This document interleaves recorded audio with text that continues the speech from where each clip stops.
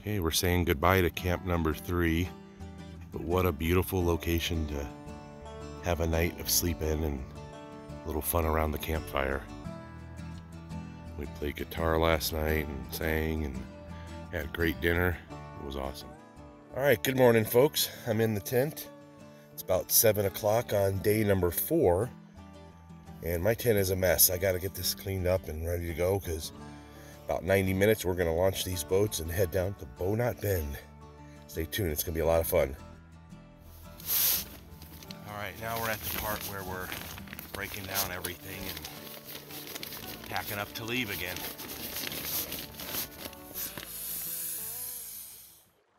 Okay, well, it's that part of the morning where all the gear is down here and we are getting a chain gang going down the side of the hill to get everything loaded. So that all goes, not the black tote, but the rest of this here all goes in mine and Daniel's boat. Not to mention a cooler and the groover. So the day continues. We're to come around here and stop here and hike into the middle of this to where we can see this part of the water all the way around the bow knot to this part of the water. And one day that will actually join and that won't go around anymore. But that's going to be awesome. Then we Can't paddle down and ledge camp is actually at the end of this. It's on the other side. And it's actually right there. So that's where the Mighty Ledge Camp is that's in. Where Mighty Ledge Camp That's where is. we're going to be. They call it Two Mile Canyon. That's our last camp of the trip then? That is the, the layover. Camp, that's our layover. Okay, sweet. All right, good morning, folks. We are the first ones to launch today, and we are down here when the magic hour is still happening. You can see all the beautiful reflections and all the red rock shining in the morning sun over here. far from here. Yeah, we hiked pretty far yesterday. It doesn't look like it from here, though. It's crazy. So everybody is getting packed up and heading out. We're heading down to the Bow-Knot Bend here in a little bit, and that's going to be our first hike of the day. The rest of the crew finished packing the canoes in the cool early morning air. Another beautiful, relaxing day, brother. Can't go wrong, man. It's just a beautiful location. And that blue heron, again, of course, I mean, that that's always fun to be able to see a, a wild critter out here. Bend is probably not too far away. I'm going to take a quick look here in the map book and find out exactly where that location's at. So let's take a look. The Bow-Knot Bend was here, and we weren't too far away. The landing spot was just a short distance, and we'd be there in a few minutes. So yeah, Daniel, we're going up to the top of that thing. The Green River had cast its magical spell. The look on my face describes it all. True happiness from within can be achieved. All it takes is some great family and some beautiful desert wilderness. Gentlemen, how goes it? Hey, it's going good. So this is all right. that saddle that's in that map book then. Rock and roll. Okay. That's I recognize some guys. Okay, we paddled about a mile or two this morning down to the Bow-Knot Bend where we are going to hike up to the top here in a minute. All the boats are here. Everybody's heading up. I'm to start heading that direction up the trail here in just a minute. Awesome. Trail's pretty easy to follow. See the folks up ahead. Oh yeah. Beautiful. We continued hiking in the desert wilderness. Every step forward was rewarding as we continued up the trail into the wild. Well, that's the trail up. We're heading that way right now. Good howdy. All right, folks, we've been scrambling up this and it gets a little bit more technical when you go up, but it's not too bad. Did you? So yeah, there's a couple technical scrambles here getting up this stuff. This is what we just came up. Whew. Out of breath. All right, so we're almost to the top of the Bow-Knot Bend here, the part where we can see both rivers. I think it's gonna be pretty awesome. Lots of climbing. Definitely out of breath. All right. Here Here's the gap. We came up from down there at the river. And now you can see the river here and then the river seven miles away over here.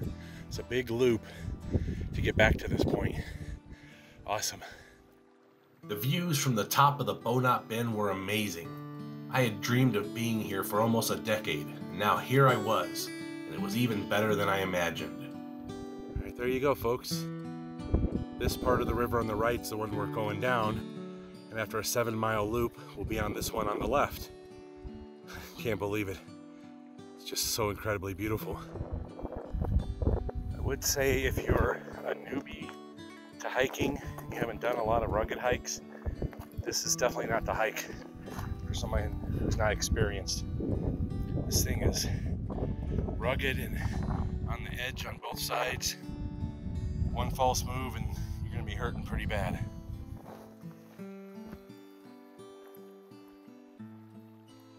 I continued hiking across the top toward my brother and friends. Everywhere around me was intense beauty, and I knew I was fortunate to be here now. My brother went down to the edge and took in the magnificent view.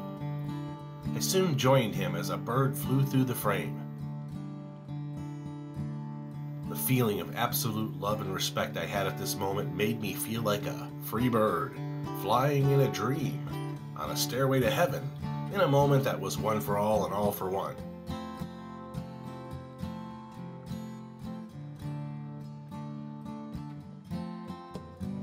After taking in the views and capturing some stunning photographs, we all signed the guest log on top before heading back down the trail.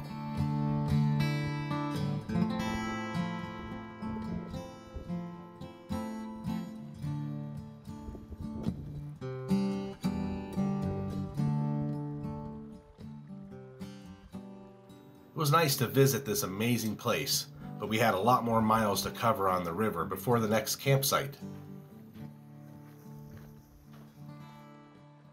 We needed to get moving and continue our journey down the Green River. What a great day to be alive!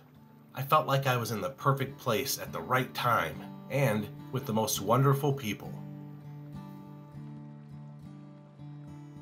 The Bowknot Bend was named by geologist John Wesley Powell in 1869 during one of his famous explorations of the rivers in the American West. We felt fortunate to be able to follow some of the same river as this historic figure. We got back to our canoes and continued downriver and saw another heron taking off. Ready to get a shot at the bird.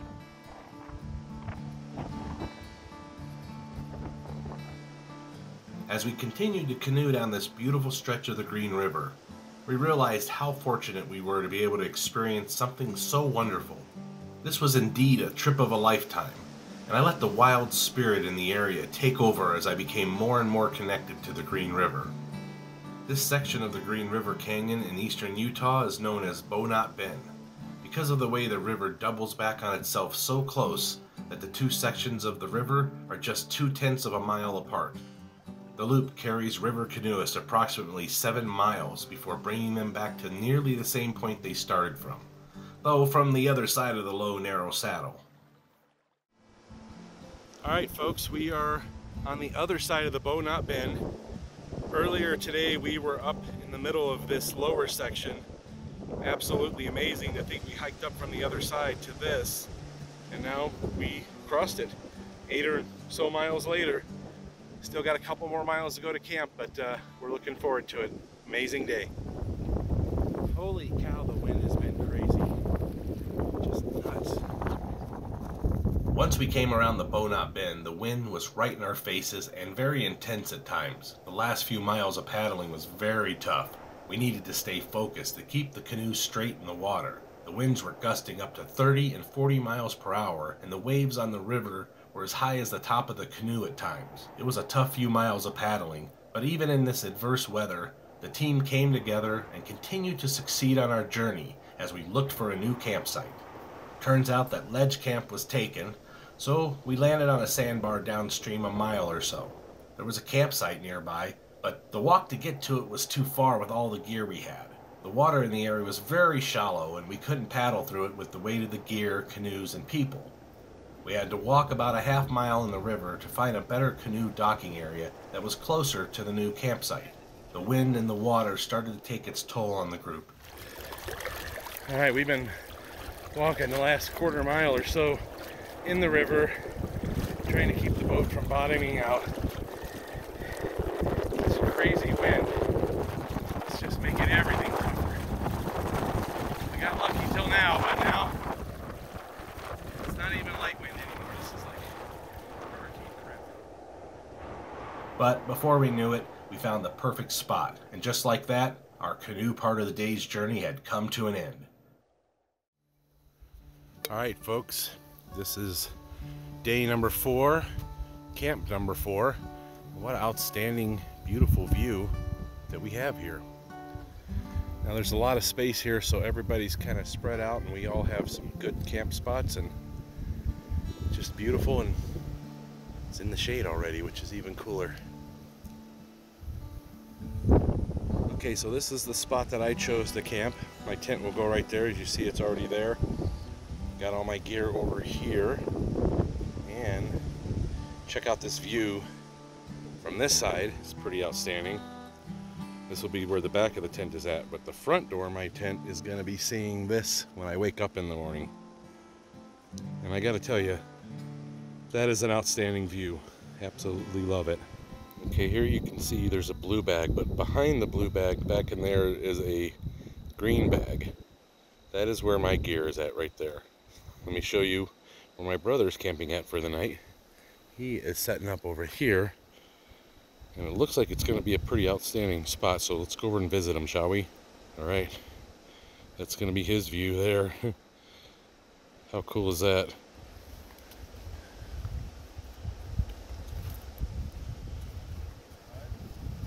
All right, look at that. That's a sweet spot you found, man. Okay, so it's later in the day. It's about 5:30 Utah time. Day 4.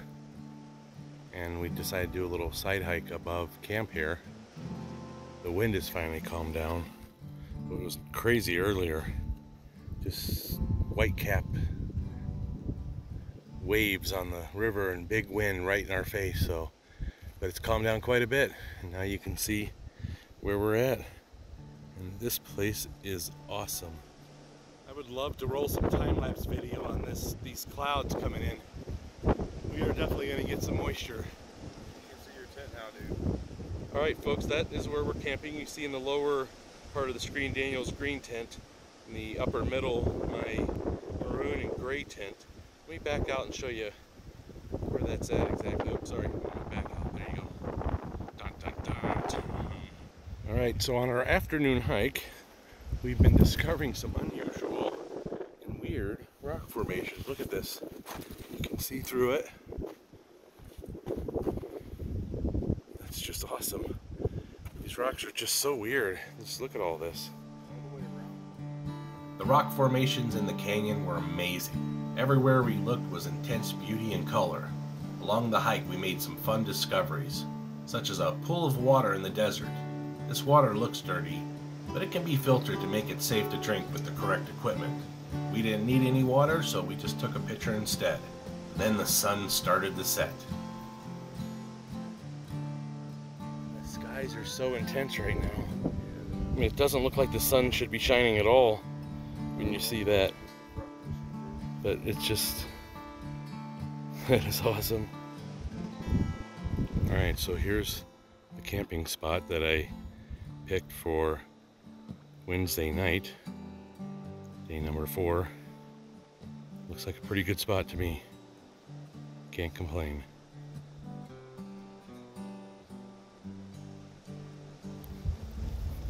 Why don't we go in and take a closer look? Okay, you can see I got a tarp behind here with some supplies on it so I can remain organized as much as possible. Most of that stuff will get put away tonight in dry sacks and covered up. And then the tent, dun dun dun dun, dun. So you can kind of see in there through the screen. It's looking pretty good. Here, why don't we open it up for you real quick? Okay, there you go. That's where I'm sleeping at for the night and should be pretty comfortable. Looking forward to it. After getting video of the inside of my tent, I stood up and turned around to discover that the sunset was intensely beautiful. I felt like the most fortunate person in the world at that moment. The Green River in Utah had not disappointed.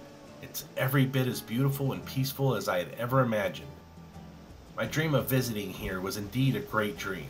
And now, here I was in the middle of that dream and not wanting to ever wake up. I enjoyed the last of the sunset as nightfall slowly took over the surrounding area. I looked back at my tent as I felt the tranquility of tonight's campsite take over my wild spirit.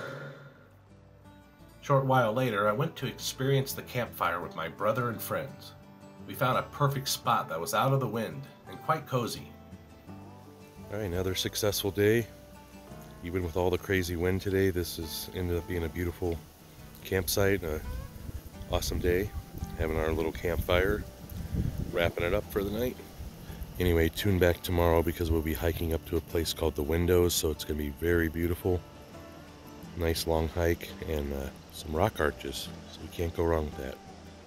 The moon rose above our campsite as we gathered to make s'mores around the fire. We melted marshmallows over the campfire and made some sweet treats. Another amazing day on the Green River, and now we got to have some evening snacks after dinner. The moon lit up the surrounding area nicely and made the ambience even better. After a great campfire experience, it was time to brush and floss before heading off to the tent for some much needed shut eye. I knew I would sleep great tonight and have good dreams about tomorrow. So, anyway, as usual, love, love, hate, hate. Take care of each other.